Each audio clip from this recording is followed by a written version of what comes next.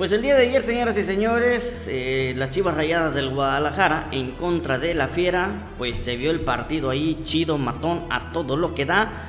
Y pues las Chivas Rayadas del Guadalajara sabíamos que iban a ir por su partido, que iban a ir por sus tres puntos, que los acercaran a la fiesta grande que los pongan dentro de los ocho candidatos para poder disputar el título de la liguilla o el título de este, de este torneo que se están disputando en estos precisos momentos. Y vaya que a buen pulso, eh, buenas jugadas, unas chivas totalmente diferentes, con jugadores entregados. Y los que esperaban a Uriel Antuna y los que esperaban que Cristian Calderón y que eh, sin ellos no iban a poder. Creo que todavía es mucho mejor estas Chivas sin Cristian Calderón y sin Uriel Antuna, papá. Creo que todavía son mucho mejor que esos dos jugadores que se encuentran eh, castigados precisamente. Beltrán hizo un excelente trabajo, Ponce hizo un buen juego, aunque pues era bucheado cada vez que tocaba el balón. Eh, hoy creo que sí está, estaban de más esos abucheos porque hizo un buen partido eh, Miguel Ponce y Beltrán, pues ya ni se diga, ¿verdad? Cuando anda bien este chamacón, el equipo anda jugando bien. Y bueno, este, hoy las Chivas Rayadas del Guadalajara cantan esta victoria. Fernando Tena menciona que están jugando bien, que están contentos en el plantel, que están contentos eh, en el equipo, más allá de lo que hay a la interna, ¿verdad? Hoy de de las paredes de las Chivas hacia afuera, todo pinta bien, todo se ve que están jugando chido y que están mostrando que tienen esta calidad, ¿verdad? Lo estamos viendo en los partidos que están jugando y esto los acerca a para poder competir por el título de este, de este torneo. Claro que hay cosas que puntualizar y que hay que mejorar porque ya entrando a la liguilla los equipos totalmente se desconocen porque comienzan a mejorar, porque quieren el título, porque quieren este, lograr el campeonato y de esta manera pues los equipos cambian, ¿verdad? Los equipos cambian en su totalidad. Bravo por las Chivas, es momento de aplaudirles creo. Respira Fernando Tena después de una serie de situaciones. Hoy respira Fernando Tena porque pues todo parece indicar que eh, si sigue con esa racha van a calificar y Fernando Tena va, a tener trabajo todavía, mucho trabajo por delante. Y me refiero a, trabajo, a que tiene chamba, ¿verdad? Que va a tener chamba más allá de lo que pase en este eh, clausura 2000, 2020. Eh, si bien es cierto, no, no hay la mejor relación que digamos con Ricardo Peláez y con Amaury Vergara por algunas decisiones que se están tomando, por algunas decisiones que el equipo, este, bueno, no que el equipo, sino que la directiva toma a espaldas, bueno, sin comentarle a Fernando Tena, Hoy Fernando Tena dice, no importa, hagan lo que tengan que hacer. Claro que sí me molesta porque soy el director técnico, pero lo voy a demostrar en los partidos, lo voy a demostrar en la cancha, jugando con los chamacos que ustedes me están dando. Voy a hacerlo porque mucho se criticaba. Fernando Tena no está haciendo jugar a los refuerzos. Hoy nos damos de topes. Es cierto que no está dándole con todos los refuerzos sin, embargo, se está muriendo en la raya con los jugadores que él cree, con los jugadores que él pretende, con los jugadores que ve que están chambeando chido en cada uno de estos partidos. Hoy se llevan la victoria, qué bueno, la verdad es que lo merecían, merecían tener este, pues tener esta ventaja, estos tres puntos importantísimos. Claro que hay alguna serie de cosas que de las cuales vamos a hablar, puntualizar, importantes, ¿verdad? Porque no todo es miel sobre hojuelas. Claro, como dice nuestra amiga de Broland, ¿verdad? No todo es miel sobre hojuelas porque la situación ahí en las chivas con los jugadores, eh, bueno, algunos dicen que tiene que cambiar la postura de los jugadores.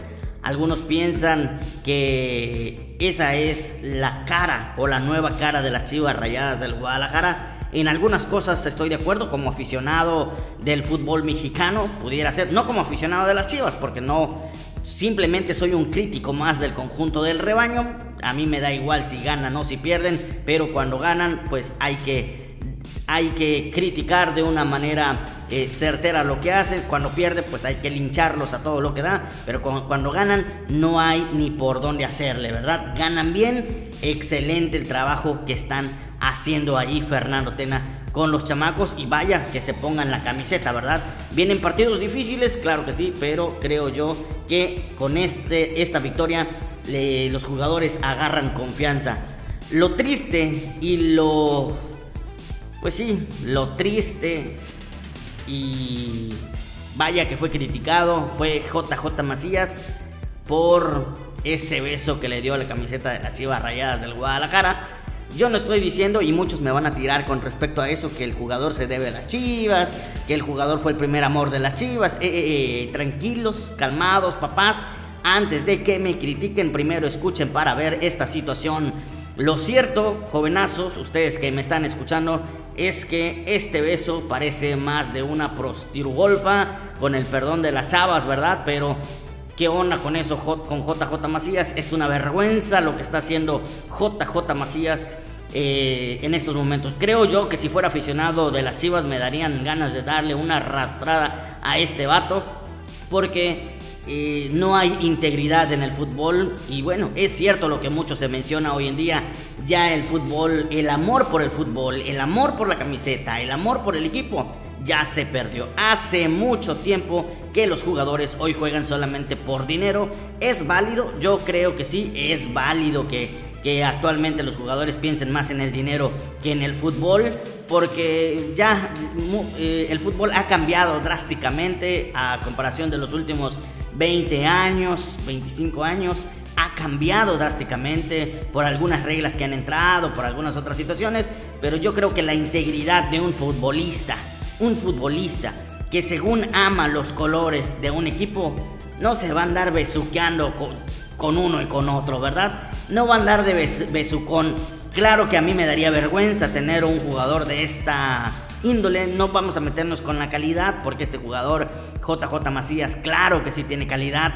Tiene calidad para jugar en cualquier equipo, incluso tiene calidad para ir a Europa y no creo que vaya a tardar mucho en la Liga Mexicana. El brother en cualquier momento pues va a tener la oportunidad de brincar el charco e ir a tener la experiencia en el viejo continente. Pero si yo fuera aficionado de las Chivas Rayadas del Guadalajara, me daría vergüenza tener a un jugador así. ¿Por qué? Porque ya en un partido contra la Fiera, bueno, de la Fiera contra las Chivas, cuando este chamacón estaba en el León, les besó el escudo también, papá, en la cara de los aficionados, en su cara, metió un gol a las Chivas y en su propia cara les hizo eso, les besó el escudo, mostrando y diciendo con esa actitud que el amor por la fiera estaba creciendo y que ya no sentía nada por las Chivas. Eso yo creo que lo hizo más por el coraje eh, del conjunto del por el conjunto del rebaño al haber este pues mandado al jugador a la fiera, ¿verdad?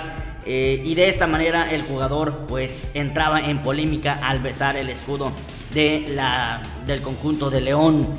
Eso no se hace, hace chamaco, hoy pasa lo mismo, hoy está enfrentando a la fiera y pues besa el escudo de las Chivas Rayadas del Guadalajara. Vergüenza total, vergüenza total. Lo mencionamos, lo mencionamos un video anterior, lo dijimos.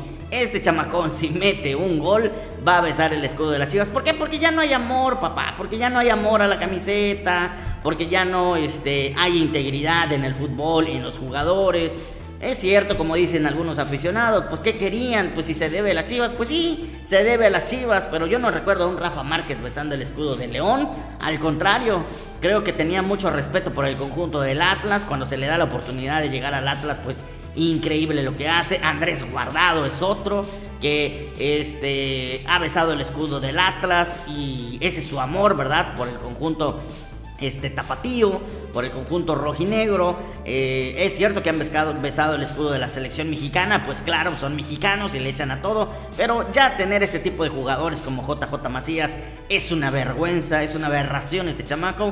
La verdad que no tiene integridad, no tiene identidad de equipo, cambia de equipo como de calzón y pues, pues no manches, ¿verdad? Una cosa es tu trabajo, una cosa es tu trabajo hacer bien tu trabajo por el cual te están pagando y otra cosa es pues revolcarte como una prostirugolfa, ¿verdad? Y pues eh, besarte con, eh, con medio mundo, ¿verdad? Pero bueno, así es este negocio, así es este business y el chamaco pues ha causado polémica por este acto. Creo que eso fue lo peor que pudo haber hecho, aunque algunos mencionan pues que siempre ha querido a las Chivas Rayadas del Guadalajara. Les repito, si fuera aficionado me daría vergüenza, ¿verdad? Por esto. Me daría vergüenza que este chamaco haya besado el escudo de León y luego en su cara les bese el escudo de las Chivas. Creo que no está bien por ahí. Pero bueno, esas son situaciones, a ver qué es lo que pasa. Veremos más adelante con respecto a este fútbol. Esperemos que mejor juegue al fútbol y se deje de sus tonterías cada vez que haga este tipo de actos. Por lo pronto, señoras y señores, yo me despido. Ya saben, cuídense bien, pórtense bien, laves el fufrufu y nos vemos en el siguiente video. Suerte y hasta la próxima.